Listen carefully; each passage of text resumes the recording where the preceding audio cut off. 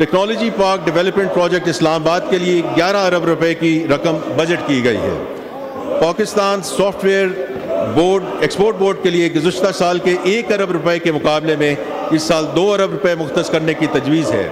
یہ رقم I T sector کے ایکسپورٹرز کی حوصلہ افزائی اور آئی ٹی فرموں میں طلبہ کی انٹرنشپ کے سلسلے میں رکھی جا رہی ہے۔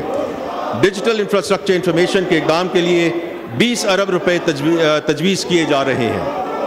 ملک کی سماجی و اقتصادی ترقی کے لیے ڈیجیٹل ٹیکنالوجیز کی صلاحیت کو بروئے کار لانے کے لیے حکومت ایک نیشنل ڈیجیٹل کمیشن اور ایک ڈیجیٹل پاکستان اتھارٹی قائم کرنا کا ارادہ رکھتی ہے۔